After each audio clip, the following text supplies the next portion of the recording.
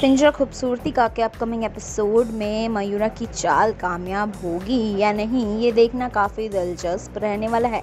जी हाँ शो पिंजरा खूबसूरती का में अभी तक हमने देखा कि कैसे मयूरा और ओमकार पार्टी में शामिल होते हैं और ईशान के प्लान के मुताबिक, ईशान के गुंडे वहाँ पर नहीं पहुँच पाते हैं।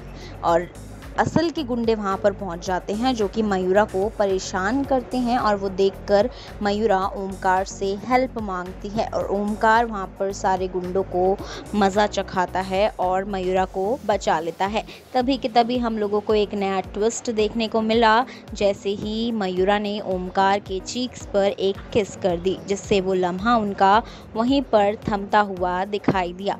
वहीं आज के एपिसोड में हमने ये भी देखा कि कैसे ओमकार मयूरा के बारे में सोचते नहीं, थकता है। वो सोचता है कि आखिर मैं मयूरा के बारे में इतना क्यों सोच रहा हूँ? तो वहीं अब अपकमिंग एपिसोड में हम लोग को और भी तगड़े तगड़े ट्विस्ट देखने को मिलेंगे। जी हाँ दोस्तों, अब हम देखेंगे अपकमिंग एपिसोड में कि कैसे मयूरा ब्लैक बोर्ड पर अपनी और ओमकार की किस करते हुए एक कार्टून स्केच ड्रॉ करती है, जिसे देखकर ओमकार को बहुत ज़्यादा गुस्सा आता है, जिससे मयूरा को पता लगता है कि शायद ओमकार उसके जाल में नहीं फंस पाया है और उसके प्यार में नहीं फंस पाया है। लेकिन मयूरा भी ठान लेती है कि वो ओमकार को अपने प्यार में फंसा कर ही रहेगी। अब ये दोनों का प्यार का खेल देखना काफ़ी दिलचस्प होने वाला है।